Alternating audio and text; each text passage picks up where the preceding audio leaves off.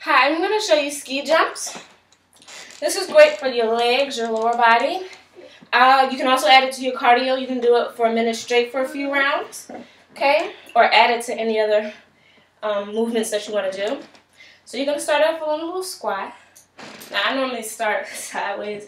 Don't want to be cut off by the wall. Actually, let me just bring it a little bit closer, angle it. Closer? Yes, I'm bringing it closer. Okay, so. Okay, so you're just jumping side to side, bringing the legs to the back as if you're going to curtsy. I say stay in a low position. I'm going to show it from the side. I don't have much room in my bedroom, so bear with me. Okay? So I hope that helps. Again, you can add that to your cardio. You can do it for a minute straight. That will get your heart rate pumping and burn some calories.